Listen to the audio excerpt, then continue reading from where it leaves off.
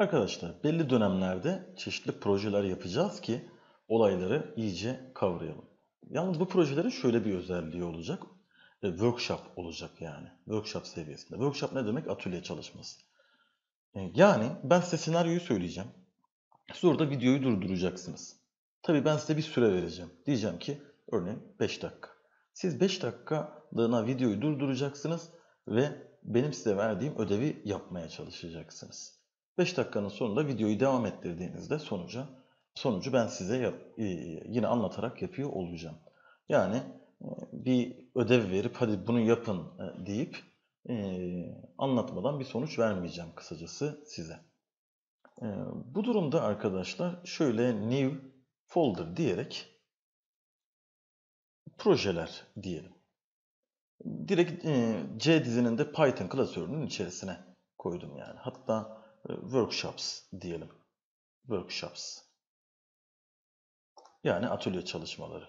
Şöyle gelmiyor arkadaşlar. Bir geri ileri yaparsanız gelir.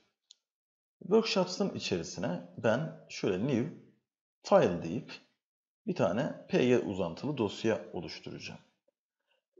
Sayıların yerini değiştir. Nokta py. Böyle açık açık yazacağım ki isimlerini daha sonra açtığınızda e, hangi workshop olduğunu e, rahatlıkla bilin diye. Peki senaryo ne?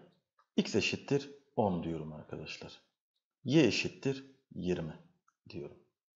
Soru şu. x ile y'nin yerini değiştirin. Yani ben bunları yazdırmak istesem print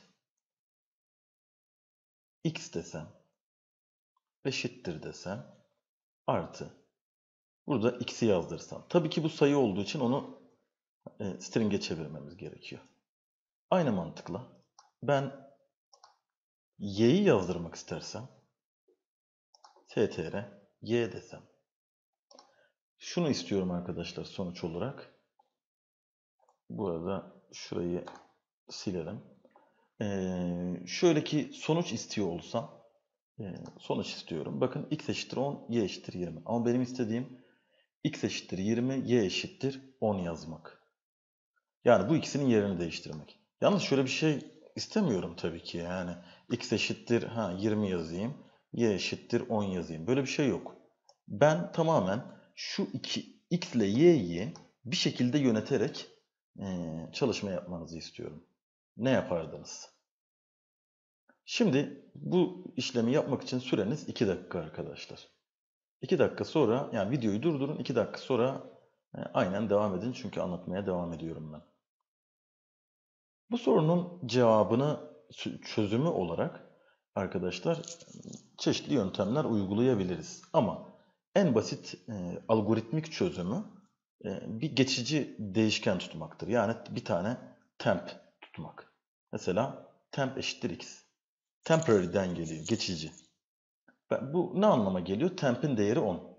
Yani, yani x ile işi kalmıyor. Onu 10 değerini alıyor, bitiyor. Çünkü değer tip. Daha sonra artık işimiz kolay. x eşittir y diyorsunuz.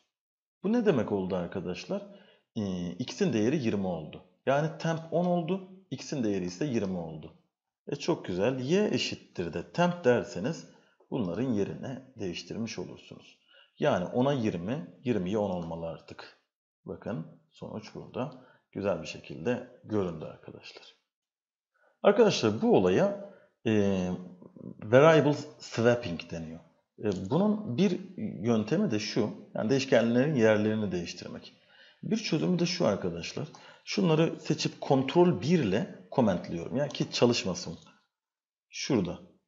Bakın x virgül y eşittir y virgül x. Böyle bir e, Python'a özeldir bu. Yani C Sharp'ta Java'da böyle şeyler bulamazsınız.